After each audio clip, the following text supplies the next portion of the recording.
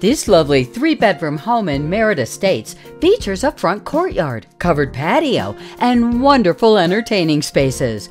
This home won't last long. Schedule your tour with Cheryl Linden.